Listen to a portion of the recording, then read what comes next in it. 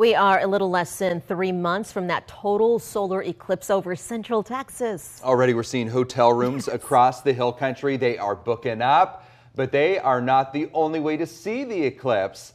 KXAN's Eric Henriksen, our senior science reporter, has some of the alternatives that people are looking at. Yeah, people appear to want to like camp out. I'm Okay. surprised, right? Oh. That's according to rental company RVshare. They told us they're seeing a, get this, 2,000% increase in RV rentals compared to this time last year. They're seeing even more rentals than during the Memorial Day weekend.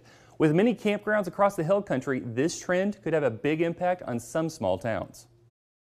Millions of people potentially traveling across the state, all in hopes of seeing a total solar eclipse on April 8th. I mean, we've never had, you know, 100,000 people in our town, but we'd love to have as many as we can take. Marvin Willis lives in Ingram, Texas, a small town just west of Kerrville. It's going to be hard to travel from one side of the town to the other. Like many hill country towns, Ingram will host a four day eclipse festival, providing a spot for campers and RVs to park ahead of the event. I didn't really start promoting it uh, uh, online until about a week ago, and so far I have 77 uh, people that are coming to the event.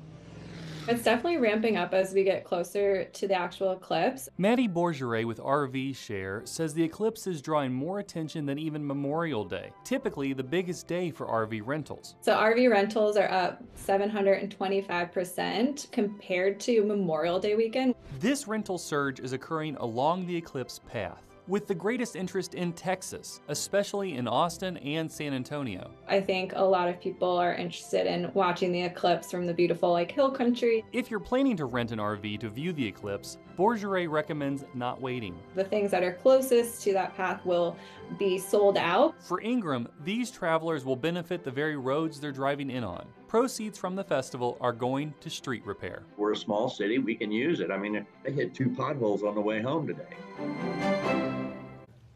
So Ingram is just a little west of Kerrville. They have, and I think this is kind of the perfect location to see the eclipse. Yes. Stonehenge 2. Oh, Really? So it's a duplicate, a The replica of Stonehenge. It's the second. You know how there are multiple. Yes. But This is a replica. It's just uh, like a five-minute walk from that campground where the RVs will In be Ingram? hosted. In Ingram. Nice. They also are on the Guadalupe River, and they have a coffee shop. These are Okay. my- I mean, that's all you need if you're going to be camping. some modern You're coffee. camping. Coffee, Stonehenge. Perfect. Damn.